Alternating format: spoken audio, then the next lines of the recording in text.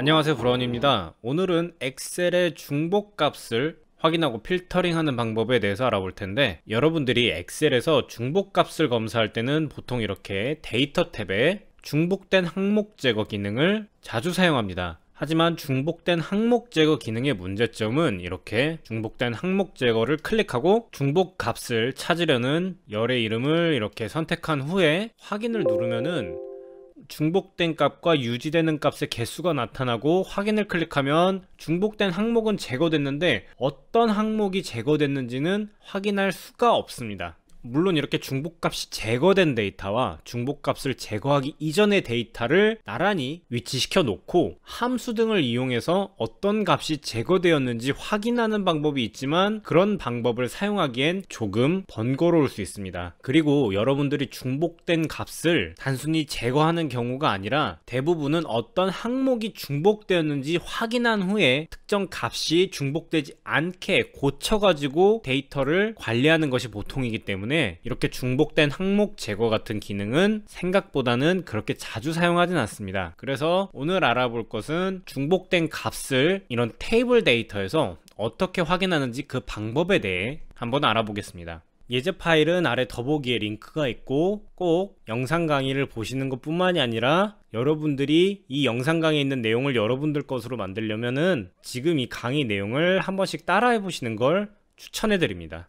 첫 번째는 함수를 이용해서 특정 열에 있는 데이터 중에서 어떤 것들이 중복되어 있는지 확인해 보겠습니다. 중복된 값을 확인하는 함수는 별도로 없기 때문에 우리가 알고 있는 함수를 응용해서 값을 입력을 해야 되는데요 우선 이 첫 번째 회원 가입 명부 테이블을 확인하면은 중복된 값을 제거해서 고유한 하나의 값만 놔둬야 하는 열은 주민등록번호가 될 것입니다. 따라서 이 주민등록번호에서 중복된 값이 있는지 확인하고 어떤 값이 중복되어 있는지 확인하는 함수식을 한번 입력해 보겠습니다. 첫 번째로 개념을 먼저 이해를 해보면 이 주민등록번호 전체 데이터에서 동일한 데이터가 두 개 이상이 되면은 그 데이터는 중복된 데이터라고 할 수 있을 것입니다. 따라서 이 전체 데이터에서 중복된 값이 두 개 이상 되는 경우에 중복 검출이라고 텍스트로 표시를 해주고 한 개만 있을 경우에는 별도의 텍스트를 출력하지 않는 함수식을 입력을 해야 되는데 그러면 이 함수식에서 첫 번째로 어떤 경우에 해당 값과 일치하는 개수를 세는 함수는 countIf 함수고 특정 조건에 맞으면 참값에 대한 텍스트를 출력하고 아니라면 거짓값에 대한 텍스트를 출력하는 함수는 if 함수입니다. 그래서 if 함수의 조건식 인수는 countIf 함수를 이용해서 만들고 이 countIf 함수를 이용 해서 하나의 열에 동일한 값이 두 개 이상 되는 데이터를 어떻게 검출하는지 함수식을 입력하면서 한번 알아보겠습니다. 일단 첫 번째로 if 함수를 먼저 입력해줘야 되는데요. 이렇게 if를 입력하고 탭을 누른 다음에 첫 번째 logical test 인수에는 countIf 함수를 입력해줘야 됩니다. countIf 함수는 이렇게 countIf 입력해 주고요 range는 주민등록번호가 입력된 열이기 때문에 이렇게 선택해 주고 콤마를 눌러 주고요 우리가 검사해야 될 데이터는 이 같은 행에 있는 주민등록번호이기 때문에 여기 C5셀을 클릭을 해주고요 그 다음에 괄호를 닫아야 되는데 여기서 우리는 이 주민등록번호 중복 함수식을 채우기 핸들을 이용해서 채울 거기 때문에 이 부분의 range 범위는 반드시 고정되어야 하기 때문에 이렇게 드래그해서 F4를 눌러서 절대 참조 형식으로 바꿔줍니다. 그리고 countIf 함수가 두 개 이상일 경우에는 중복된 데이터 값을 출력해야 되기 때문에 이렇게 이상일 때에 부등호를 적어주고요. 2를 입력을 해주고 콤마. 그리고 여기서부터는 if 함수의 인수를 입력해야 되는데 참값일 때는 중복 검출이라고 입력을 해주고 거짓일 때는 아무것도 출력하지 않아도 되기 때문에 이렇게 빈 값을 출력하게 처리를 해주고요. 괄호를 닫고 엔터를 누르면은 지금 여기서는 중복된 데이터가 없기 때문에 아무것도 출력되지 않는데 H5셀에 채우기 핸들을 이렇게 더블 클릭해주면은 중복된 주민등록번호가 있는 데이터는 이렇게 중복 검출이라고 표시가 되는 것을 확인할 수 있습니다. 그러면 여기서 어떤 데이터가 어떤 데이터와 중복되는지 확인을 해야 되기 때문에 이때는 홈 탭에 가서 여기 정렬 및 필터에 필터를 클릭을 해주고요 주민번호 중복 이 데이터에서 더보기 버튼을 눌러주고 모두 선택을 체크해 준 다음에 중복 검출만 체크해주고 확인을 누르고 주민등록번호는 오름차순으로 정렬을 해주면 어떤 데이터에서 중복이 있었는지 이렇게 모아서 확인을 할 수가 있습니다. 이 함수를 입력하는 방법은 여기 중복값 확인 완성 시트에 함수식이 적혀져 있기 때문에 여러분들이 다시 한번 확인할 수가 있고 직접 값을 이 실습 탭에서 입력해 보면서 확인을 해 보시기 바랍니다 그리고 이렇게 중복값이 검출된 이후에는 필터를 이용해서 주민번호 중복 열에서 중복 검출이 표시된 데이터만 이렇게 선택해서 필터를 해주고요. 그 다음에는 주민등록번호를 오름차순이나 내림차순으로 정렬을 하면 이렇게 중복된 데이터들끼리 모아서 볼 수가 있습니다. 이렇게 중복된 데이터를 여러분이 수정해 준 이후 에는 다시 정렬 및 필터에서 지우기를 누르면은 적용되었던 필터 기준이 모두 해제가 되고 다시 필터를 클릭해주면은 이 테이블에 적용되었던 필터가 해제되는 것을 확인할 수 있습니다. 그리고 두 번째는 조건부 서식을 활용해 중복값을 확인하는 방법에 대해서 알아보겠습니다. 관리 품목 테이블에서 우리가 중복값을 판단해서 유일한 하나의 값만 남겨야 되는 열은 여기 보이시는 L열의 재고번호 열입니다. 이 재고번호 열에서 중복되는 재고번호를 확인하려면 이렇게 L5셀에서부터 마지막 셀까지 선택해 주고요. 조건부 서식에 들어가서 셀 강조 규칙에 중복값을 클릭해 줍니다. 그러면은 중복값 대화 상자가 이렇게 나타나는데 여기서 이 부분은 중복으로 놔두고요. 적용할 서식은 여러분들이 원하는 서식 어떤 거를 선택해 주셔도 상관이 없습니다. 저는 빨강 텍스트 빨강 채우기를 선택을 해주고요. 확인을 클릭하겠습니다. 그러면 이렇게 중복된 값에는 방금 설정했던 셀 서식과 글꼴 서식이 지정이 되는데 이때도 마찬가지로 테이블에 아무 셀을 선택해 주고요. 필터를 적용해 준 후에 여기서 재고 번호의 더보기 버튼을 클릭하고 이번에는 색 기준 필터가 있는데 이 색 기준 필터에서 여러분들이 셀색 혹은 글꼴색 어떤 거를 선택해 주셔도 상관없고 여기서는 셀색 기준 필터를 선택해 주겠습니다.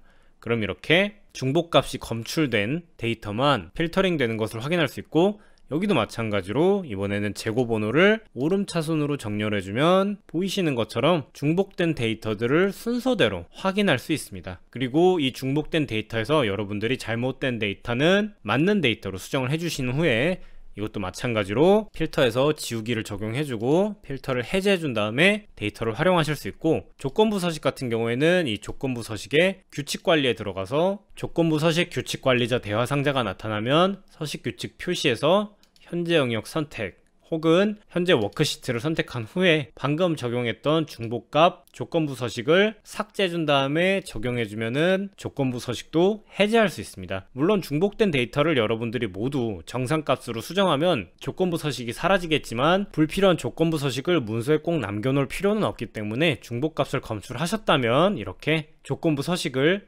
해제해서 관리하시는 게 좋습니다. 그러면은 제가 영상 시작부에서 중복된 값을 지우는 기능은 잘 활용하지 않는다고 그랬는데 이 중복된 항목 제거 기능 같은 경우에는 중복된 항목을 필터링하는 것보다 전체 데이터에서 반드시 하나의 데이터만 남겨야 되는 경우에 활용하는 게 좋습니다. 지금 저희가 실습해볼 합계표나 평균합계 혹은 개수를 세는 요약표를 만들 때 유용한 기능인데요. 여기 보시면은 5열부터 S열까지 이렇게 집계표를 만들 수 있는 서식을 미리 준비를 해놨고 우선 품목명을 먼저 이렇게 복사를 해서 5열에 붙여주고요. 제조사도 이렇게 선택을 해서 복사를 한 후에 이렇게 R열에 붙여주겠습니다. 이 상태에서 ESC를 누르고 중복된 항목 제거해서 평균가는 해제를 해주고 품목명만 선택된 상태에서 확인을 클릭하면은 이렇게 전체 품목 중에서 하나만 남아야 되는 값들만 정리되어서 나타나는 걸 확인할 수 있고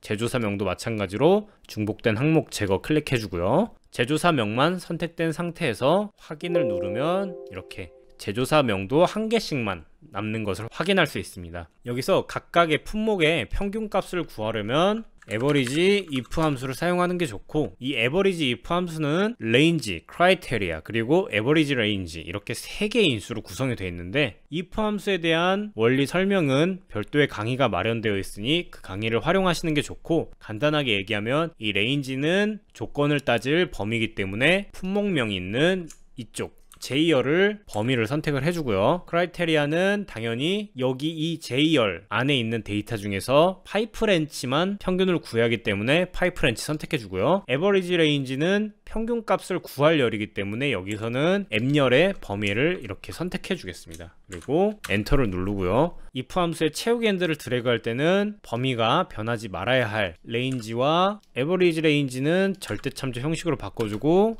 이렇게 채우기 핸들을 쭉 드래그해서 채워주면은 나머지 데이터의 평균값도 구할 수 있는 것을 확인할 수 있습니다. 서식을 복사해서 이렇게 적용해 주면은 각 품목의 평균가를 구할 수가 있고요.